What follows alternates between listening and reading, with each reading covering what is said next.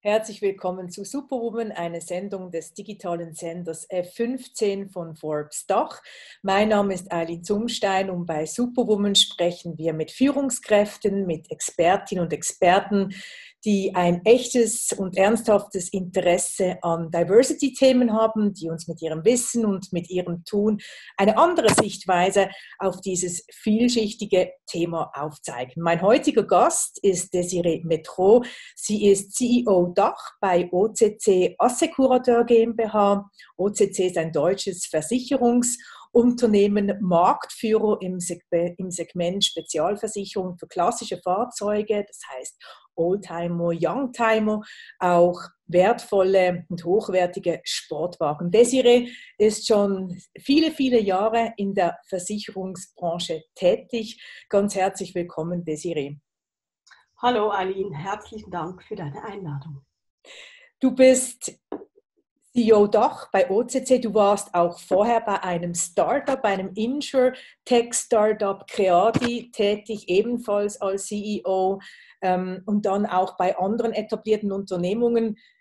Wie, wie ist das? Was, was beobachtest du? Gibt es da Unterschiede, ob man jetzt der CEO ist von einem jungen Unternehmen versus einem Traditions- und etablierten Unternehmen? Da gibt es auf jeden Fall äh, deutliche Unterschiede. Ähm, ähm, es ist auch eigentlich im, im, Fokus des, des Businessmodells gibt es ja dann nachher auch äh, Unterschiede. Jetzt äh, in so einem etablierten Unternehmen wie OCC, wo ich hier die Verantwortung trage für mittlerweile doch 120 Mitarbeiter, ist auch eine andere Rollenerwartung da, als wenn ich äh, quasi im, bei, bei, bei Creadi, als ich erste Mitarbeiterin quasi war in der Rolle, als ich das Unternehmen aufgebaut habe. Oder da hast du einen anderen Fokus, äh, mehr Recruiting, mehr Businessmodell, da musst du, musst du so diesen Product Market Fit finden und gucken, dass du überhaupt mal so äh, auf dein, auf dein Businessmodell kommst. Währenddessen ich heute in der Funktion bei, bei OCC, da geht es schon mehr um strategische Themen, auch sehr stark Investors Relation. Und dann gibt es natürlich aus meiner Sicht auch nochmal deutliche Unterschiede zwischen Deutschland und dann auch der Schweiz oder da ist auch nochmal ein bisschen eine andere Rollenerwartung vorhanden. Wenn du diese beiden Zeiten ähm, so ein bisschen vergleichst, was ist einfacher, was war für dich einfacher, was war schwieriger? Es hat alles äh, so seinen positiven und so seinen negativen Aspekt oder, oder also die, die Learnings, es ist halt immer wieder eine andere, ein anderer Fokus. Man, ich denke schon, dass jetzt halt auch in der Rolle von OCC aktuell ähm, mein Fokus halt auch eher noch auf eher so ja, so Corporate-Themen liegt, wie auch, wie auch Finanzen. Ähm, ich bin ja nicht nur von quasi von, von Deutschland CEO, sondern von vier Unternehmungen in Österreich, in der Schweiz und dann noch in Köln und hier noch Beirat und dass du halt auch so zum Thema Legal Compliance ganz andere äh, Anforderungen, denen du dich auseinandersetzen musst. Während du klassisch im, im Startup, Injotech, da geht es mal darum, überhaupt mal irgendwie so den, eine Firma aufzubauen und das sind so Compliance-Legal-Themen, das ist jetzt nicht gerade äh, an vorderster Front. Und in Deutschland ist es natürlich zusätzlich so, dass der Datenschutz über allem steht. Ich will das auch gar nicht äh, despektierlich äh, sagen, sondern hier ist einfach mehr das Thema, da muss man auch ein bisschen mehr Fokus legen, als das vielleicht eben damals im Startup war bei der, in der Schweiz. Schauen wir noch ein bisschen tiefer in die Versicherungsbranche rein. Desiree. Es gibt den Bericht, äh, die, die quasi die, das, den Benchmarking-Bericht ähm, der Versicherungsbranche 2019 der Universität St. Gallen, der zeigt, dass das Geschlechterverhältnis in der Versicherungsbranche sehr ausgeglichen ist. Aber wenn man dann auf die Kaderebene geht, sieht man, dass dort deutlich Frauen untervertreten sind. Das ist auch in anderen Branchen so. Wie ist, wieso ist, was meinst du, wieso, was sind die Gründe dafür? Also diese, dieser Studie kann ich folgen und das auch bestätigen. Also das ist auch mein Empfinden. Und da nimmt sich Deutschland, Österreich und die Schweiz eigentlich in der Regel gar nichts. Also das, diese, diese Beobachtung mache ich, ähm, mache ich überall so. Ich glaube, es geht zum Schluss, gibt es zwei verschiedene Gründe. Das eine ist natürlich auch immer dieses Thema, Frauen zu, im Unternehmen zu identifizieren, die sich auch trauen, einen Schritt nach vorne zu machen. Ich will nicht sagen nach oben, weil das finde ich nicht der Richtige, sondern einfach halt auch rausstehen wollen, Verantwortung übernehmen wollen, die sich trauen, Führungsverantwortung zu übernehmen, weil das muss man auch wollen, oder? Es ist ja nicht per se einfach immer nur damit gemacht, so, ah, toll, ich, jetzt bin ich Teamleiter oder jetzt bin ich Abteilungsleiter und, und das ist immer nur mit Spaß verbunden, sondern das ist mit viel Arbeit verbunden. Also das ist immer das, der Punkt, das muss man wollen. Und äh, das ist mal so das eine, dass man diese Leute, auch diese Frauen bewusst fördert, findet und denen aber eigentlich auch, auch ja, auf dem Weg begleitet dahin. Und das andere ist halt schon auch noch, was ich immer noch der Meinung bin oder das Gefühl habe, ist, dass in, in großen Konzernen und, und natürlich Banken, Versicherungs-, Finanzwirtschaft ist halt schon auch noch immer so ein bisschen Seilschaften, Netzwerkpflege. Und wenn da mal ein Posten frei wird, dann werden halt dann auch schon wieder andere mitbezogen. Also das gehört dann natürlich auch noch immer mit dazu. Aber ähm, und ich es ist noch spannend, wenn man mit, mit, mit, Männern in gewissen Positionen, auch auf Vorstandsebene, mal über das Thema Frauenquote diskutiert. Da kommen dann auch noch spannende äh, Aussagen dazu ja, also man kann ja schon eine Frauenquote machen, aber also solange das nicht meinen Job betrifft. Also ich werde ja meinen Posten nicht für eine Frau äh, räumen, so quasi. Und das ist auch etwas, was man sich einfach auch noch eben, es ist auch immer noch so die, diese, diese Meinung, so ja, ja, kann man ja machen, aber eigentlich nicht. Oder und eigentlich müsste ja das Selbstverständnis sein, dass das überhaupt kein, das darf doch eigentlich überhaupt kein Thema sein. So. Aber ich glaube, äh, es ist auch gut, dass man, oder es braucht auch immer noch mehr, und da gibt es ja schon einige, die da äh, sehr aktiv sind, dass man eben einfach auch Frauen mehr Mut zuspricht, äh, zuspricht, nach vorne zu treten. Und ich glaube, was wir Frauen von den Männern lernen können, noch in der Hinsicht, ist das Thema Netzwerk. Wir müssen viel stärker Netzwerke, Netzwerke, Netzwerke und diese Netzwerke auch nutzen, um uns auch in Position zu bringen und vielleicht auch diese Netzwerkzeiten oder auch die Gefäße, dass man die auch auf andere Zeiten legt, weil oft ist das ja, wenn das Abend stattfindet, auch nicht unbedingt sehr förderlich für äh, Frauen mit zum Teil auch kleinen Kindern. Ja, ja, absolut. Da kann, das, das weiß ich ja bestens, wie das ist, äh, da ich auch äh, zwei kleine Kinder zu Hause habe. Aber was ich schon merke, ist so durch Aktivitäten in, in Social Media, also mit diesem ganzen äh, Business Social wie, wie, wie, LinkedIn, wo ich äh, äh, sehr stark auch ähm, aktiv bin, äh, hat man ja heute auch wieder andere Möglichkeiten. Und Corona zeigt uns, dass ja alles auch virtuell geht. Und da gibt es ja ganz viele Business Talks auch und Conferences und einfach so, so Zusammenkünfte, Austausche, die die man virtuell machen kann. Und das schafft eigentlich hier als Frau, die auch noch in der Rolle der Mutter ist, eigentlich mehr Opportunitäten. Und insofern glaube ich einfach, man muss es aktiv nutzen und man muss sich einfach auch trauen. Aber das wäre mir eigentlich auch noch mal so eine, ist für mich auch noch mal so eine Message hier raus an alle Frauen, die zuhören, seid seid einfach mutig, weil es gibt zum Schluss, man kann nur gewinnen, man kann nichts verlieren. Das ist schon ein schönes Statement, nicht ein Schlussstatement, weil ich habe noch einige Fragen an dich. Du engagierst dich schon sehr lange für Diversität und auch Inklusion. Ähm, oft sind, ist es ja auch sehr schwierig, die, die Maßnahmen wirklich auch zu messen und zu sehen, wie erfolgreich sind die. Wie ist es bei euch, Desiree? Wie treibst du als quasi Führungsperson Diversity und Inklusion voran? Für mich ist eigentlich wichtig eben, dass es, dass es, es gibt nie, also wir haben ja jetzt in den, in den letzten 18 Monaten haben wir über 40 neue Mitarbeiter aufgebordet und die, das Wachstum und der Growth, also das geht kontinuierlich weiter.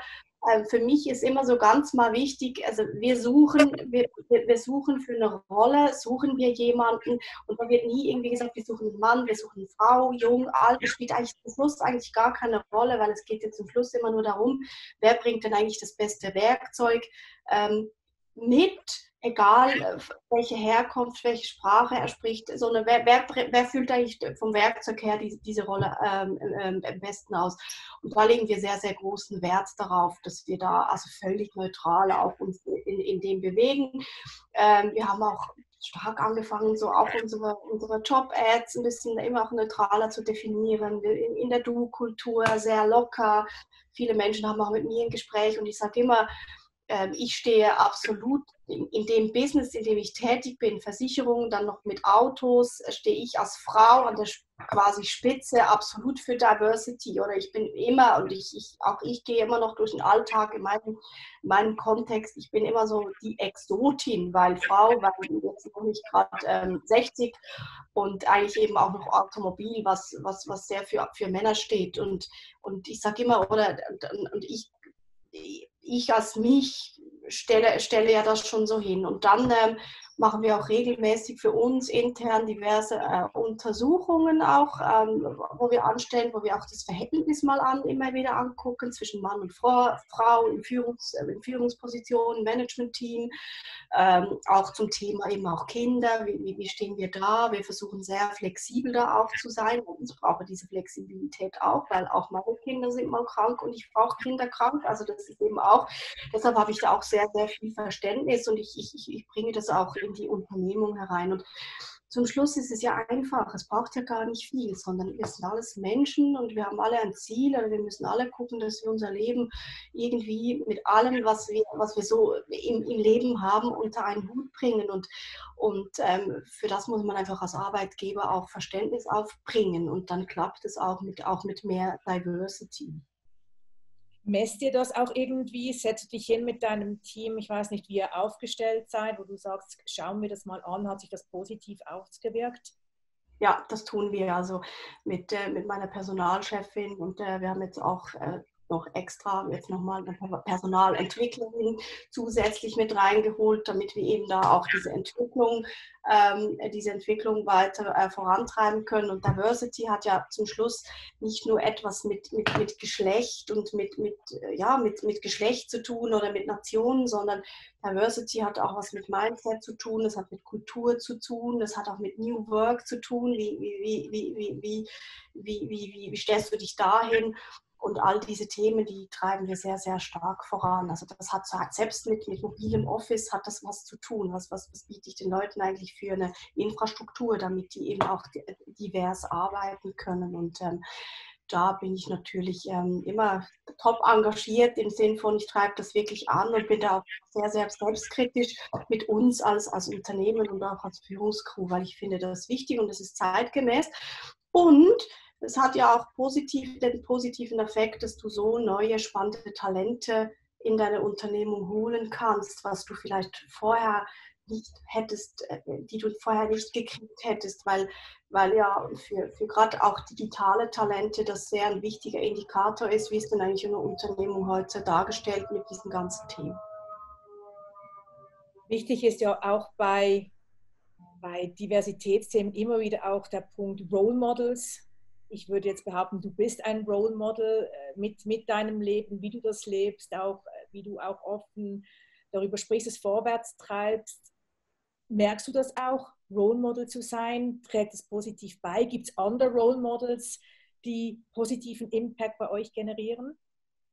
Das, äh, ich, ich, ja, ich merke das schon. Also ich, äh, ich habe auch eben so äh, gerade ähm, auch so äh, jüngere, sage ich jetzt mal, oder Nachwuchsführungskräfte, die dann ab und an mit mir so und auch in die, in die Diskussion kommen, wie machst du denn das alles? Auch immer so diese dieses, dieses sich zerreißen zwischen, man, man ist CEO von, von Unternehmen, aber man ist ja auch Mama und man hat Kinder, man hat noch ein eigenes Startup, man macht da noch Verwaltungsrat, man ist hier im Austausch.